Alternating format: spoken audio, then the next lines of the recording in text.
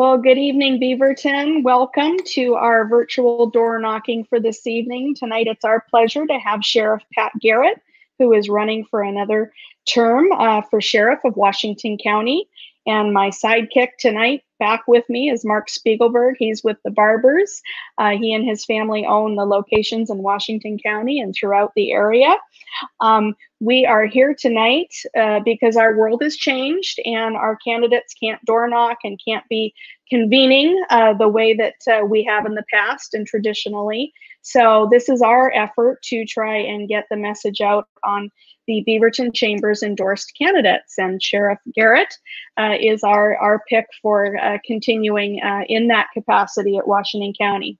I also want to remind viewers before we get going that uh, when the Beaverton Chamber Candidate Endorsement Council comes together, we are looking at it from a business lens. We're looking for those candidates that align along our trajectory with our positions on issues like land use, transportation, safety, etc. When you sit down with your ballot, we know you wear many hats, um, but we look at it from a business perspective. And with that, I'm going to turn it over and introduce Mark to you. Thanks, Lorraine. Uh, as she mentioned, we're not only looking um, for candidates who will represent us, but also candidates who have strong leadership abilities, um, who are effective at consensus building as well. Um, with that being said, uh, Pat Garrett was our choice um, for sheriff with over 30 years at the sheriff's office. Um, we're excited to have him tonight and he can get to know him a little bit better. Um, sheriff Garrett, I hope you're doing well. Um, I know these are kind of uncharted times, uncharted territory for you. Um, how are you doing? How are you doing with everything going on? Um, tell us a little bit about the changes you've kind of had to adjust to with everything happening. Well, it's uh, thank you, Mark. Thank you, Lorraine. My thanks to the Beaverton Chamber for hosting these uh, uh, these discussions. Things are proving to be busy. So, um, you, I, on March 16th, I hosted a biweekly meeting of our justice system leaders so that our presiding judge, our district attorney, our defense bar, our juvenile department, health and human services, we could coordinate the important services that we provide the community share information, uh, make sure that um, we could continue these services in a way that balances public health and public safety. So that is uh, really uh, helpful discussions, um, and and the courts too. The courts have instituted uh, level three restrictions on hearings, uh, so they re- re- restricted a lot of what they're doing. Though just next week they're going to restart out of custody arraignments, and so we're working with them and our court security to be able to make that happen. So there's a lot of interim changes going on, but uh, we're getting through it. We got a, a great team and a really understanding community. Awesome. Awesome, Pat. I'll start you off with this and wanted to thank you again for your 30 years of service um, to our county. That's that's amazing. Um, wanted to start you off with this one. Uh, in your campaign, you talked about increasing the justice capacity. Can you expand on that a little bit for our viewers?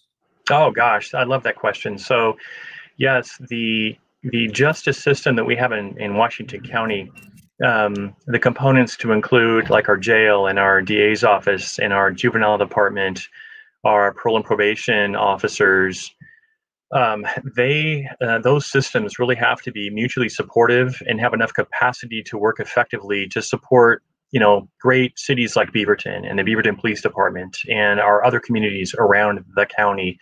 And it just so happens today we're out of room in the courts we frankly don't have enough judges, but there's there's absolutely no room to grow in our courthouse. The DA's office is out of room. Parole and probation is out of room, and they're spilling into interim facility space. The juvenile department's in the same place.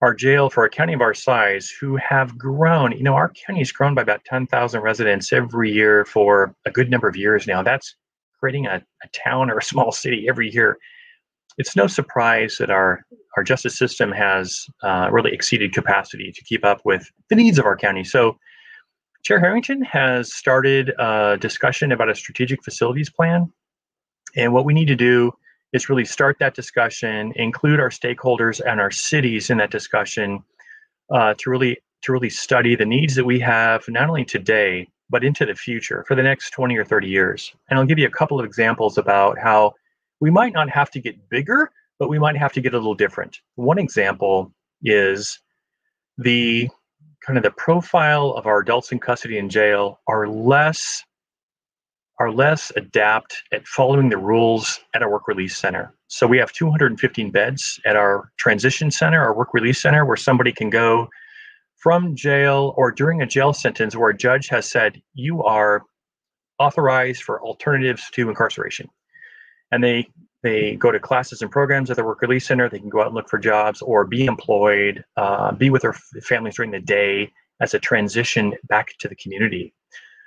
There are fewer adults in custody who follow the rules there. It's harder to have folks there be successful to get returned to jail at a higher rate than only a few years ago. So we might not grow the community, the work release center, but we do need to grow uh, the jail to a degree. We had overcrowding releases last year of over a thousand, the same in 2018. But something I think we need to consider doing differently in our jail. It doesn't take long to be inside and to watch the great work that our jail staff does and to realize we have too many in custody with mental health factors, right? Mental health issues.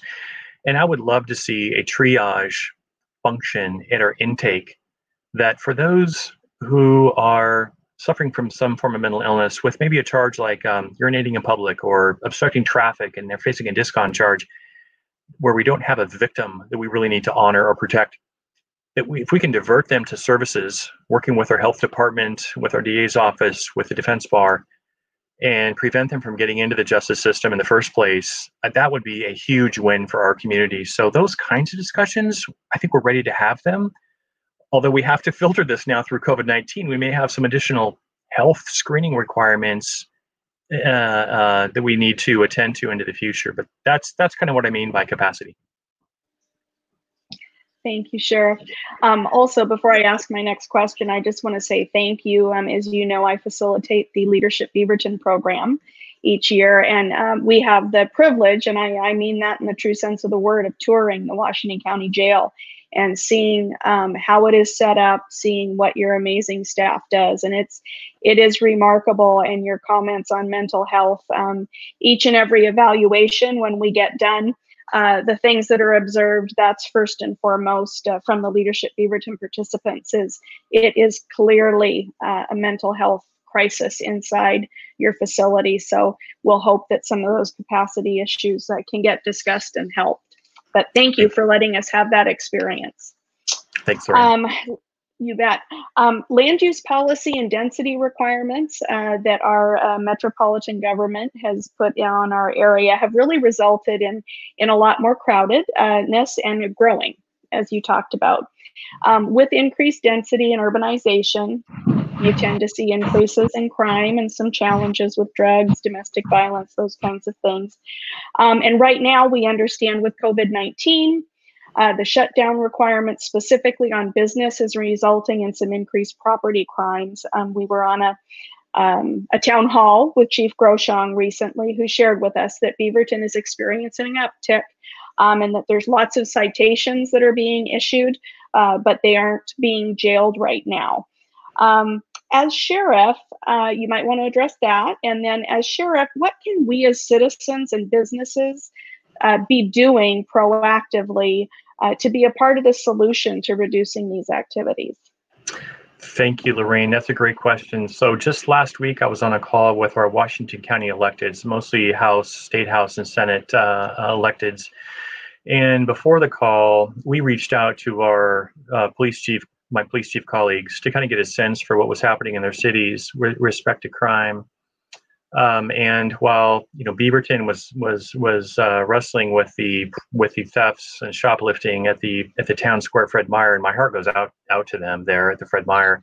You know, Tualatin wasn't experiencing the same kinds of issues. Um, it was it was interesting that city to city, it's not exactly the same, but nevertheless, there was uh, there is uh, a challenge there at the Fred Meyer, and so what um, the wonderful team at the Beaverton Police Department did is work with their loss prevention officers to narrow the entrances and exits so they could keep a better eye on just what was happening at the store.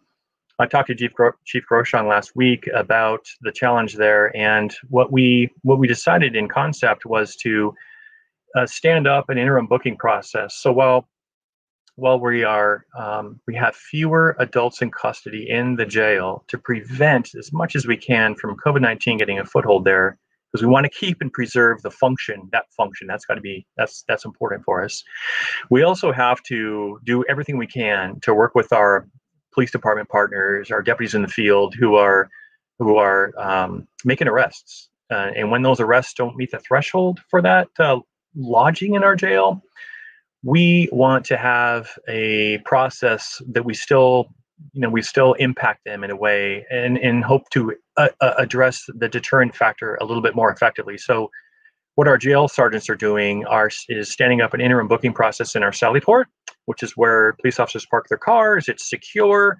We have a we have an office out there where we can stand up a interim booking process so that um, for those repeat offenders, right, who are not taking that citation and not uh, um, uh, doing the right thing, we have a another way to um, to to slow them down, if you will, to add that deterrent factor until we can start peeling back the protective layers of the jail and go back to something that resembles normalcy.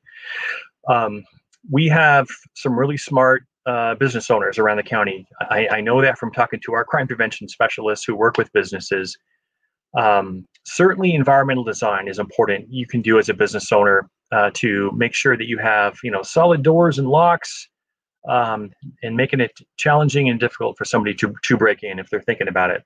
But signage is important as well, and cameras and signs that say something like, uh, "You're being monitored right now." You know, you're on camera. We have lots of cameras. If you break in, an alarm will sound, and police will be here quickly. And that is that's true. Our response times in the city of Beaverton and, and outside the city, we're going to get there fast, especially today.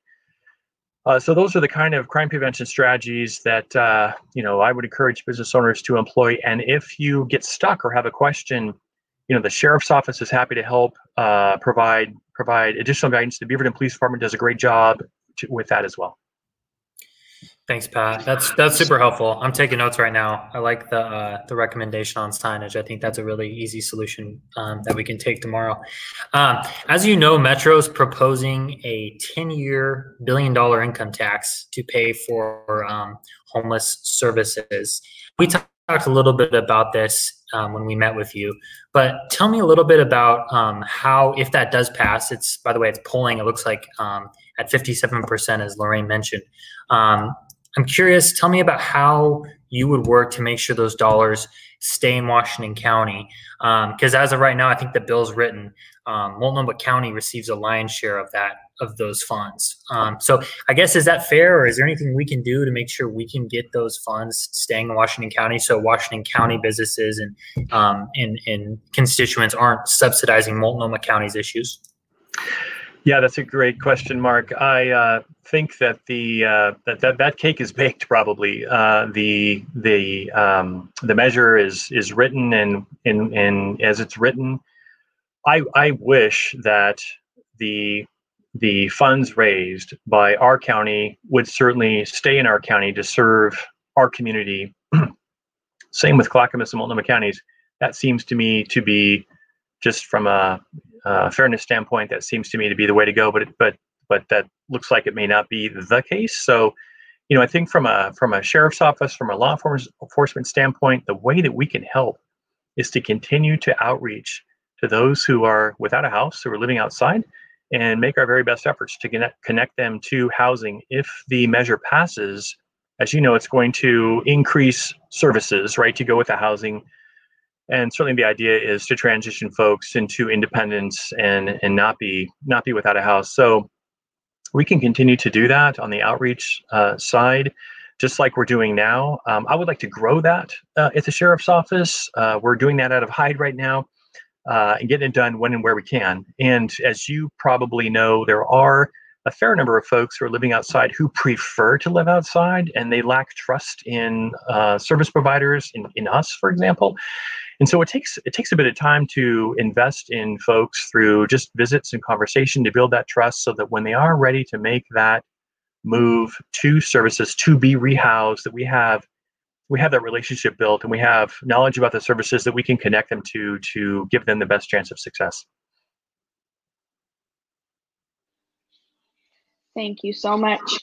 Um, there's two other very, very important and I think dear to your heart and my heart measures uh, that are coming up on the May ballot, not just candidates. Uh, we have the Here Together, but uh, what I'm speaking of in particular is the Washington County Public Safety Levy and the Cooperative Library uh, levy that uh, the chamber is supporting both of those uh, issues and i'm i'm a little concerned to, to be honest given our covid-19 environment um, i happened to be in the area i think it was um, early 2000s pat where we did have a, a fail in the levy and we had to come back around to re to reinstitute it um, I don't want to see that happen again. Um, I think that levy is critical to our community, especially given our time. Um, what can you share with folks to really emphasize the vitalness of getting that passed? Well, you have a good memory, Lorraine. Thanks for thanks for that. Um, what the public safety first of all, thank you to the Beaverton Chamber for supporting the Washington County Public Safety Levy and the library levy. Together, they are critical, really, for us to maintain a safe community, which is good for business what the public safety local option levy provides, it, it, ensures that our, our justice system components are best uh, mutually supportive. And so that when a Beaverton police officer makes an arrest, brings someone to jail, that we have a jail with enough beds to house that person, or to at least get them to their uh, arraignment before a judge makes them swear that they will show up for court. Um, it ensures that if, in for example, if there's a domestic violence charge or child abuse or child pornography, which those cases filed by the DA's office are on the rise, and that levy helps ensure that we have the capacity in the DA's office to prosecute those crimes, to hold people accountable, um, and to safeguard the victims who are impacted by those crimes it helps ensure that our parole and probation office and those probation officers can keep up with increased caseloads, particularly in, in domestic violence crimes, and that our juvenile counselors uh, that we have enough of them and those services to get our kiddos back on track if they start to go to go astray. We have a long track record of managing those funds, delivering those services in an important, in an effective and responsible manner. And I'll just share with you at the sheriff's office, for example, we recognize that the economics of public budgeting is important to voters, it's important to our community, and we we we spend what we need to make sure that our our staff are well trained, well equipped, well led, that we measure up to the standards through accreditation and inspections and other other checks and balances. But we return funds which we don't need. And in at the end of the last budget year, we returned about six percent from our three funds, which were unspent, totaling about $7 million to help the beginning fund balance of the following fiscal year. So being uh, responsible with public, uh, with, with tax dollars is really, really important to us and the other departments of the county. So we have a good track record of uh, being responsible with those with those tax dollars. We um, have seen in the past couple of years that both property crime and violent crime has begun to trend up. Um, and there's no more important time than now to continue those services. And in a few cases, those services are enhanced, enhanced in a manner that allows us to keep that jail fully staffed uh, so that the, the DA's office can keep up with increased prosecution of, of, of child abuse uh, and the other kinds of, of uh, challenges we face on the public safety side that I, that I just covered. So thank you for your support to the public safety levy. Super important to continue those services and then to make sure that they're balanced. So they're, they're supportive to uh, the cities like Beaverton and great agencies like the Beaverton Police Department. Thanks, Pat. Sounds like we got to pass that uh, public safety levy. Um, two part question for you. Uh, how do you how do you think um, the county's emergency response team these past few weeks has handled the COVID nineteen crisis? Um, also, how many prisoners have you had to release because of distancing requirements? I know uh, Chief Groshong shared that any arrests in Beaverton right now uh, for nonviolent crimes are simply getting a violation, um, uh, just getting written up and released. Overall, how do you feel like that process is being managed currently? Uh, thank you, Mark. So, my impression of the countywide emergency operations center is going it's going well. Uh, they're getting good information out to our partners across the county, to our cities. Um, we're taking care to coordinate with cities. If, for example, there's a business where where the center has received complaints that they may be working outside of of uh, you know the governor's um, uh, order or uh, social distancing, the the center is working hard to coordinate with the cities to make sure that to the extent that we can that we're not duplicating efforts and communicating with uh, with groups and uh, and and businesses in in those cities. And we're doing it in a in a measured and uh, uh, a way that provides education and collaboration and, and saving any kind of enforcement action to the very very as a very very last resort. Um, on the on the jail side and enforcement so we began really early measuring the, or at least accounting for COVID like symptoms where we may need to keep someone under observation. We started asking questions of arriving arrestees on February 6th if they have COVID like symptoms. And so that enabled us to help us so far, knock on wood, to keep COVID out of the jail. Given the community spread, I think it won't surprise us if we do get an infection inside that facility, but so far we've been able to keep, keep it out. What we did on March 16th, after a meeting with our justice system leaders, is that we began working to do releases of pre sentenced folks in custody. So those are folks, uh, adults who are yet to be sentenced. Uh, they balancing public health and public safety. We did make some releases, coordinating with the court and the DA's office. And then for those, we ma- we made a few releases of folks who were nearing the end of their sentence. Maybe they had 10 days left, or they were sentenced to two days in custody we asked the court if we could just sentence them straight to probation. So that got us down to about 60% uh, um, full in our jail, which enabled us to have every inmate in their own cell to eat, sleep. We could uh, have out time in smaller groups so they could maintain distancing. That too has helped. Where we have our adults in custody under observation for symptoms, we have COVID tests that we've been able to administer, and they've all come back negative so far. So, so far, so good. Now, to slow the inflow of individuals in custody in the jail, we did, I did implement a threshold. It's it's A and B felonies, person crimes, domestic violence, sex crimes. So you can commit like a burglary. If somebody breaks into your house and is caught, that's an A felony. It's not traditionally a person crime, but they're still going to go to jail uh, and that has that has helped us maintain right around half about about we're about half full in jail. And we're talking about peeling back those protections and getting back to normal or some resemblancy of some semblance of normal. We know we're probably going to have to maintain some capacity if we do get positive covid uh, infections of, of the adults in custody we're going to have to quarantine them in a housing unit. That is that is probably the, the way we're going to have to go. So there may be some longer term consequences, but we're just, as I said earlier, we have an interim booking process that we're standing up for those lower level offenses. Uh, and we're just managing day to day and keeping a close eye on recommendations from the CDC, from the Oregon Health Authority, and from our own experts here at the county about how to kind of open our jail back up as we move along this current time we're in. Thanks, Pat. Um, a kind of sidebar question, but along what you were just sharing, um, I received a, a, kind of an urgent request from TVF&R earlier or late last week, I guess I should say, requesting um, PPE from any businesses that might have spares obviously uh, your fine men and women that are on the front line first responders. Um, they they must be facing that situation as well. Do, does the sheriff department um, have enough ppe to your satisfaction right now? Love the question. Right now we're in pretty good shape Okay. TVF&R, their burn rate of PPE is going to be higher than ours, right? Because they're showing up at uh, AED, uh, uh, medical calls, and their their PPE requirements are a little a little bit higher than ours.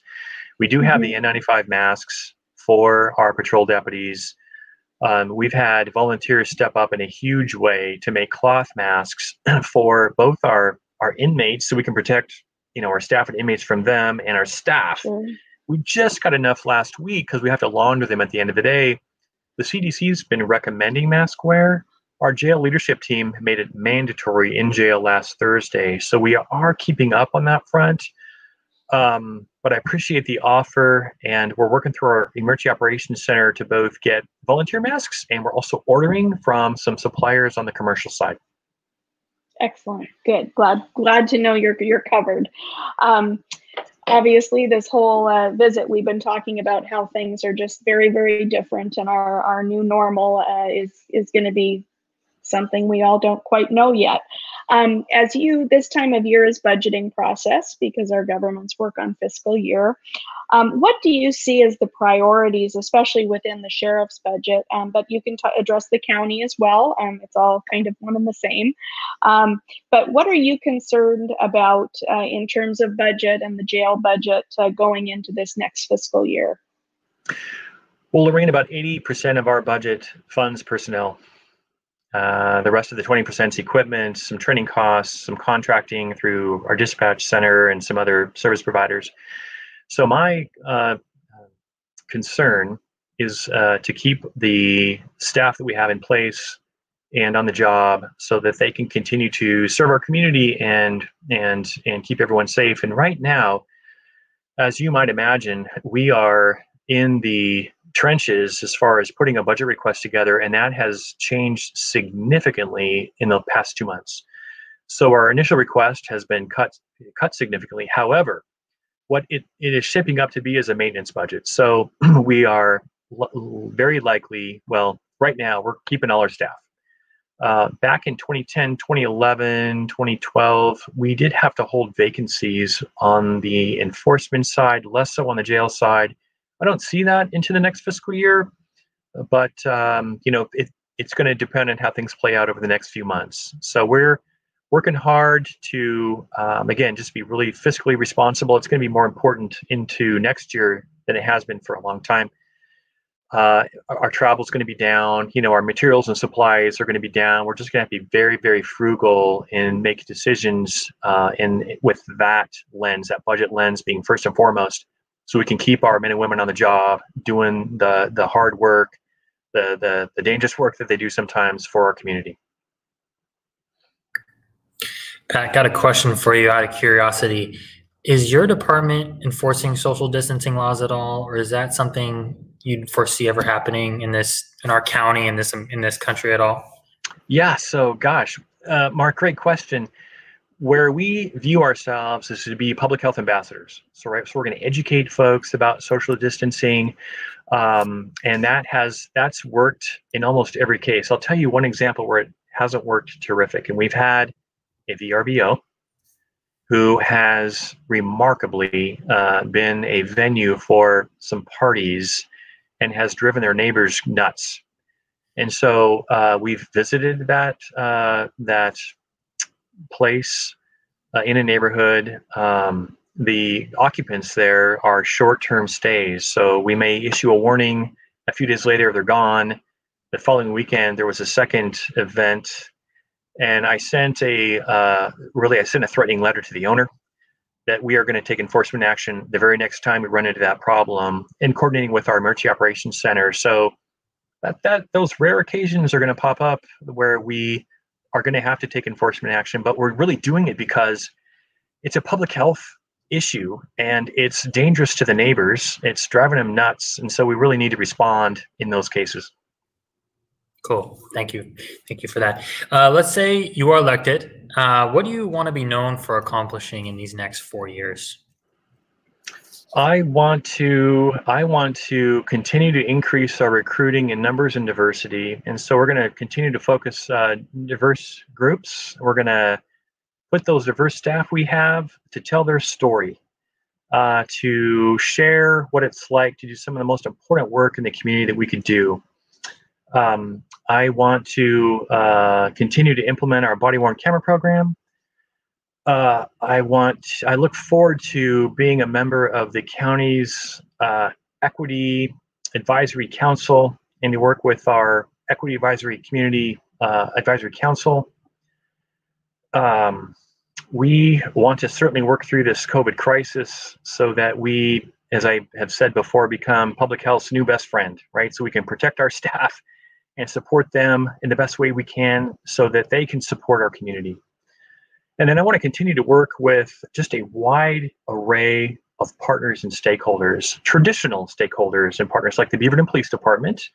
We partner together on our interagency drug enforcement team, on our SWAT team, our negotiations team, our crash accident reconstruction team, um, the DA's office, of course, and then some partners which you might think are non-traditional. You know, I've been on the phone with the ACLU uh, and emailing the past several weeks to help leverage the Oregon State Hospital to accept our adults in custody who are unable to aid and assist in their own defense, get them to the Oregon State Hospital where, where they need to be for for treatment, uh, for uh, for counseling. Uh, the Disability Rights Oregon, another wonderful group that advocates for our mentally ill and particularly those in custody. Uh, we have a, a really solid partnership with them. I submitted a declaration in a in a suit that they brought against the state of Oregon to expand their capacity to help those in custody with mental illness. Our great community-based organizations like Virginia Garcia, Adelante Mujeres, Centro Cultural, they, they provide great services that we want to coordinate with them. So it's just a wide array of stakeholders that we want to continue to work with because we've got to work together to provide the best partnerships and uh, services for our communities here in Washington County. Uh, Pat, um, I'm not going to ask you a date. I know that I think, um, generally speaking, um, all of us are feeling like the stay home, stay healthy order will probably be remaining in effect through May, especially in the metropolitan area. Um, but how, um, from from what you're seeing, feeling, and being on the front lines of first responders and being intimately connected with the public health system, um, can you share what you'd what you'd like to see the beginning rollout look like for Washington County? Boy, that's uh, there's a that's a great question, one that everybody wants answered. There's a little bit of speculation in there uh, in my answer, but you know, I think it's going to be it's going to be iterative. What I heard, probably one of the most famous people in the country right now, Dr. Fauci, say is we need to peel back the protections slowly uh, and I think for us, that is going to be true. I think the kind of protective equipment that we use into the future, in addition to a bulletproof vest and a vest and a belt, we're going to be we're going to have some other protective equipment that we're going to become accustomed to to to using. I think we need to have rapid testing for our staff, rapid testing for our community.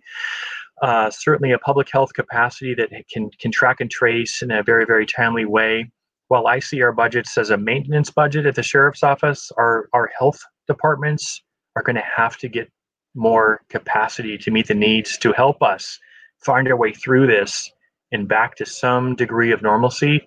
I just think it's going to be slower than faster. And I heard a, a, a CDC official say if it feels like we're overkill on protecting ourselves from COVID, it probably means we're getting it about right. So data time. We're starting to plan to work our way out of this from a sheriff's office standpoint so that we're ready when our health advisors say, you know, it's time to get moving. It's time to get something back to feeling more normal.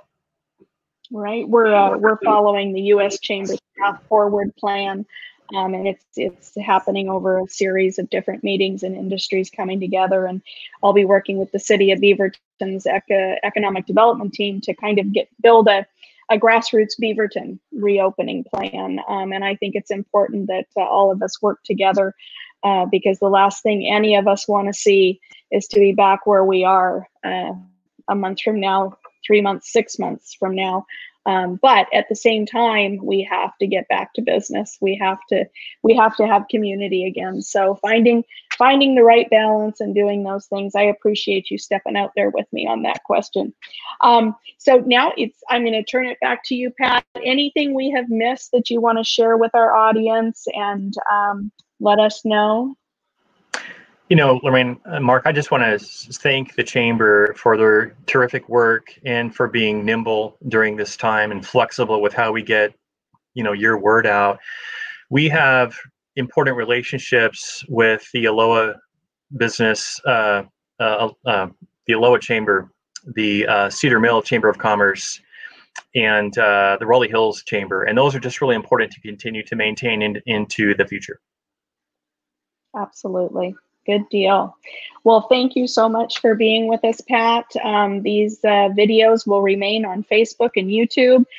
And uh, you'll probably see it build. All the other ones have crossed 400, 500 views. So, uh, folks that may not be watching now will have that opportunity to see this down the road, and and we certainly hope they all vote for you for Washington County Sheriff.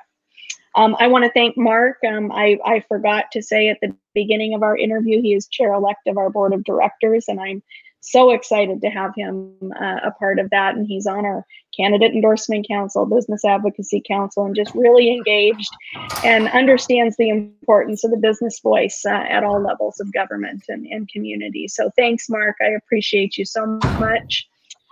Um, our next door knocking interview will be this Thursday at 5:30. We are going to meet with Roy Rogers, who is a, I think, the longest standing county commissioner now on the on the board, uh, and he is up for another four year run. So we'll visit with him.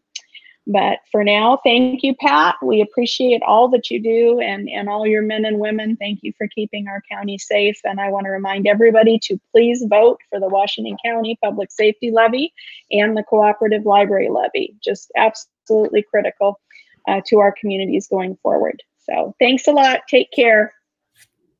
Thank you. See you guys.